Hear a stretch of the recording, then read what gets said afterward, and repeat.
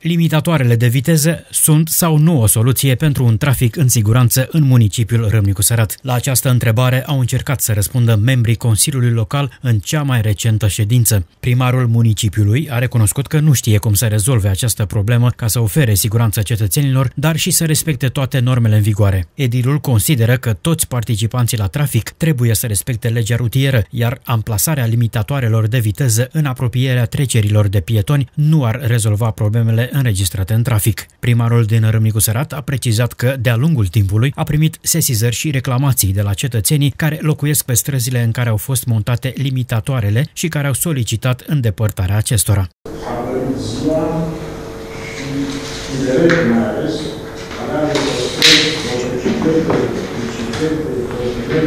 mașini, radio, schimb noapte.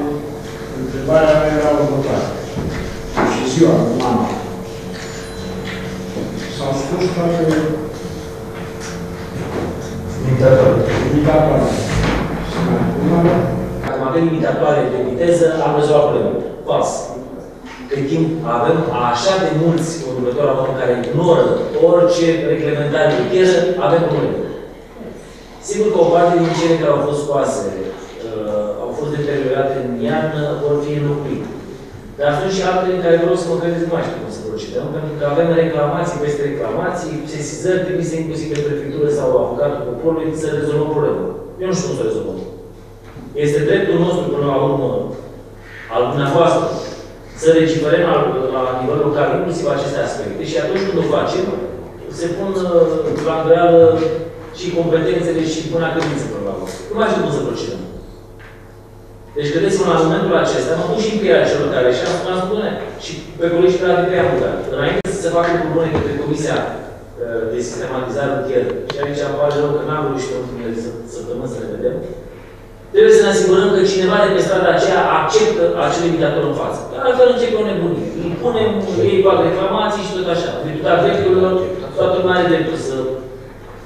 Nu știu ce să vă spun. Unul este cert, vom asfalta iar 20 de străzi și vă asigur că pe fiecare stradă din cele pe care le-am asfaltat vom avea solicitări de imigratoare. Și atunci, de ce le asfaltăm? Dacă o să mergem permanent așa?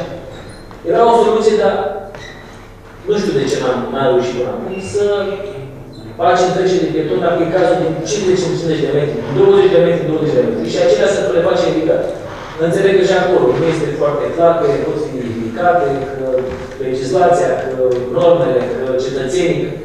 Deci, este, este dacă mă întrebați, uh, nu știu dacă neapărat un vid legislativ, dar în mod categoric o, o lipsă de, de corelare a legislației cu uh, măsurile și consilierii locali cunosc destule situații în care trecerile de pietoni au fost mutate de mai multe ori pe o stradă din cauza cetățenilor nemulțumiți. Au desenat astăzi trecerea de pietoni aici, au mutat-o mâine, au șters-o și au mutat-o 10-20 de metri mai încolo. După ce au mutat-o, s-au scurat ceilalți în fața care au mutat Au mutat limitatoarele într-un fel, au făcut scandal locuitorii din zonă, au reamplasat limitatoarele de viteză.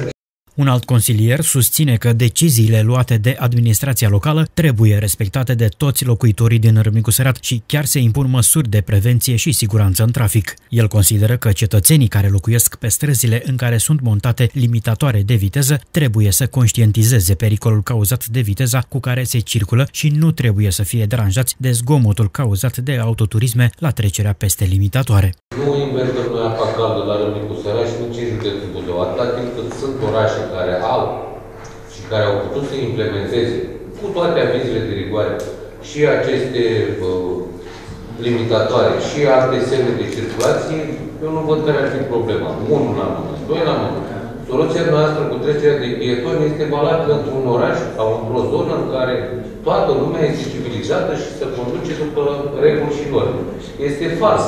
Eu vreau să vă spun un lucru. Puneți o trecere de pietoni încă una pe bulevardul Gării și o să aveți surpriza să-i zboare ca pe popice, pentru că noaptea nu-i păzește nimeni. Și vis-a-vis de faptul că acceptă cetățenii sau nu acceptă.